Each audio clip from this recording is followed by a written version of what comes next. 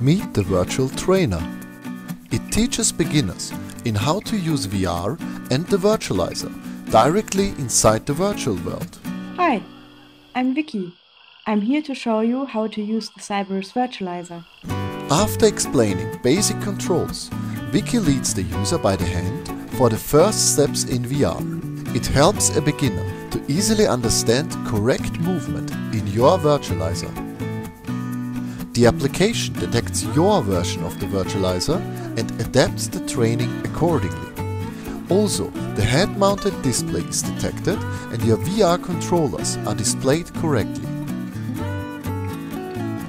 If your users are familiar with VR already, you can simply disable parts of the training. Use our configuration tool to fit the training process to your individual needs. All instructions are provided acoustically as well as visually by animations. The intuitive instructions are easy to understand for everyone. Oh wow, you're walking backwards. That's great. But for now, please keep on walking constantly towards me, straight and smooth. The virtual trainer checks the user's posture and movements inside the virtualizer. It either gives positive feedback or visualizes mistakes.